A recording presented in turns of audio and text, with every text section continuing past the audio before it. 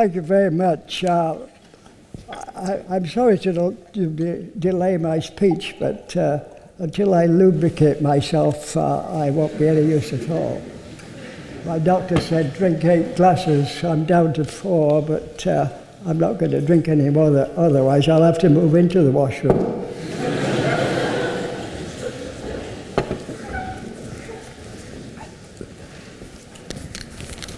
What between drinking water and different glasses, uh, it's the bane of my life. Over 80 years ago, in 1928, at the age of five, my granddad took me to my first Remembrance Sunday service in the town of my birth, Barnsley. The air that day was thick with grief and tobacco smoke from all those who had come to pay respects to their sons, husbands, uncles, and fathers who had taken the king's shilling and fallen in the Great War, which had only ended 10 years previous. On that long ago Sunday, I don't remember when the people wore poppies or not, because the grief from that war was as fresh and as lonely as newly dug graves in a churchyard cemetery.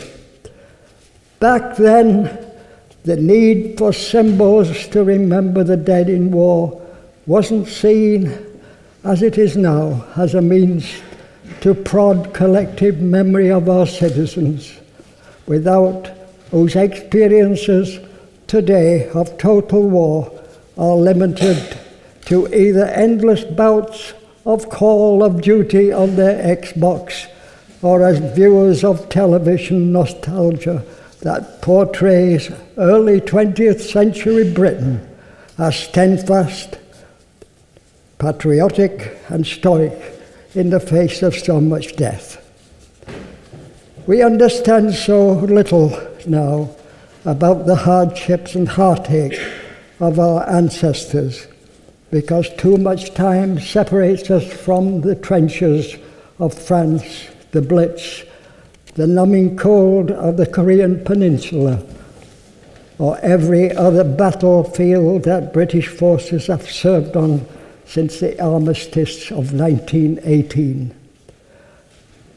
But I am old, so I remember the grief from that long ago time when my family and my community went to the cenotaph to remember our dead. I recall how the hurt from the loss of a loved one was etched on people's faces like it had been cut with jagged glass. Even my granddad had sacrificed a son to that seamless war, senseless war.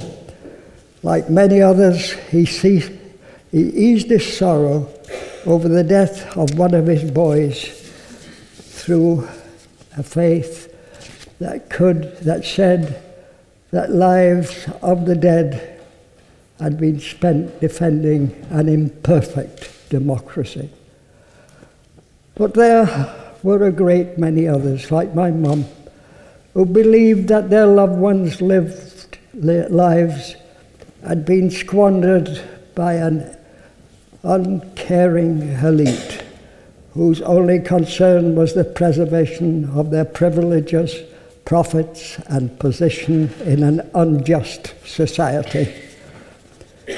Yet, no matter how much people debated the cause of the, or the merits of the Great War, Everyone believed the price in lost lives to our country was too great, and so the credo, never again, was coined.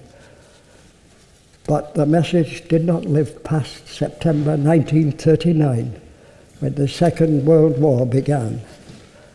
I was a veteran of that war and served the RAF from our country's darkest to finest hour and have never regretted doing my very small part in keeping our country safe. However, despite my acknowledgements that World War II was a just war, that Britain fought with bravery, I am not sure I can say the same for our battles during the Cold War or the annual wars Britain has fought every year since 1945 to maintain her colonies, preserve dictators, shore up alliances, and expand commerce or diminish our civil liberties through a nefarious war on terror. It is for those reasons last year that I decided to stop wearing the poppy, because I find this message is no longer about remembrance, sacrifice, loss, and putting an end to conflict. Instead, it has become an endless drumbeat that pounds out one message that war is always inevitable and always noble.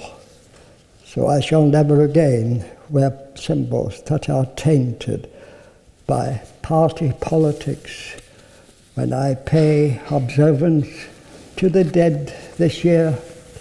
Instead, I will be unadorned and wear my 91 years of experience in war and peace with pride. I have earned the right, by service to my country, to not wear the poppy and to demand an earnest debate as to why this country is more proficient in killing than in preserving life. But I am also grateful to all who have served and will serve in the armed forces, for their task is not safe, easy, or ennobling. However, it is time that we remember that if the state is intent to send our children's children off to war, it is their duty not private charities nor the public to see that they are properly cared for when the tunes of glory become a distant echo. Thank you.